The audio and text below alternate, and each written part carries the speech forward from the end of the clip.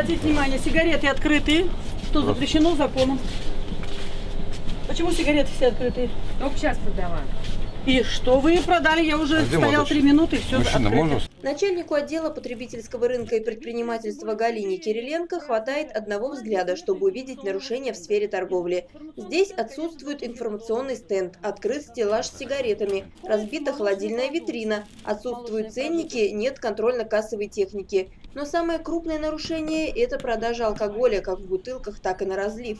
Это так не ставьте. Она может убрать, спрятать, сказать, что ничего у нее нет. Ну, Я вам говорю.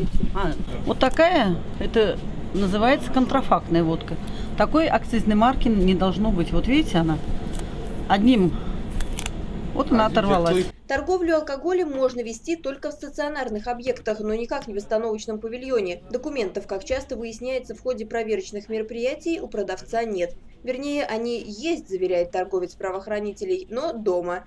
Отвечать за реализацию алкогольной продукции в этом остановочном павильоне будет также владелец торговой точки. А пока полицейские взяли с продавца объяснения и опечатали обнаруженное спиртное.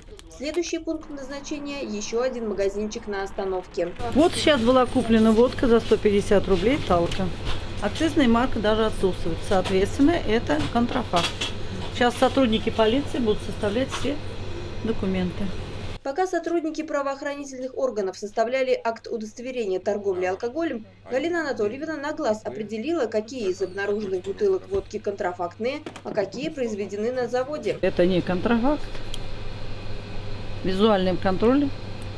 У нас, если, если возьмем, и вот этот светлый путь тоже не контрафакт, а вот это контрафакт. О том, что в некоторых торговых точках имеются нарушения, в отдел потребительского рынка и предпринимательства сообщают сами балаковцы, позвонив по номеру горячей линии 62 43 36. Мы такие нарушения пресекаем и будем пресекать. Большое спасибо жителям города Балакова, которые звонят на нашу горячую линию. И также в органы УВД все эти жалобы отрабатываем.